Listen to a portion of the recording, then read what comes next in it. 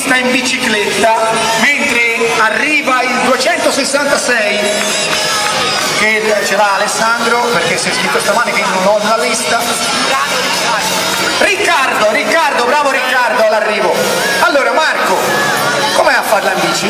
Ma sicuramente è abbastanza dura il pezzo di sterrato c'era anche un po' di fango e insomma le ruote slittavano.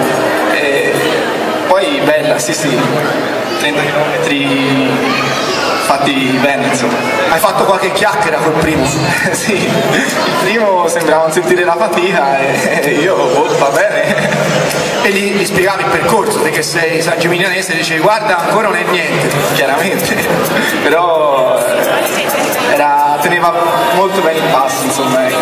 La discesa di Cantiati che l'anno scorso in salita fece tanta selezione? Ma la discesa è stata bella, anche lì un po' di pietre, un po' di viscido, però insomma si sono difesi molto, tutti molto bene.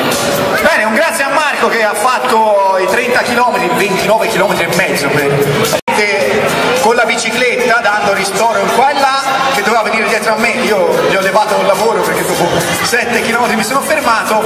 Per lui era una rivincita discesa di Volterra era caduto si era spaccato un dente era andato in ospedale quindi vorrei che gli facesse un applauso perché era una vittoria una rivincita che si voleva prendere e sta arrivando il 118 che è Timothy Chaplin dell'isolotto Timothy Chaplin che non è un addetto medico eh, col 118 Sì, no, è un grande ultramaratoneta Ci fidiamo. eh. Ah, Matteo, dici co- co- cosa hai trovato per strada? No, un bel percorso. Tra l'altro non l'avevo mai visto, che ho avuto l'opportunità di vederlo. Un po' atletico, ho cercato di dare conoscenti anche chi non conoscevo, ma diciamo che alla fine non ho aiutato nessuno. Ti hanno chiesto aiuto? Il mio fratello l'ha trovato. Cioè, il tuo fratello l'ha trovato, Cioè, no. 176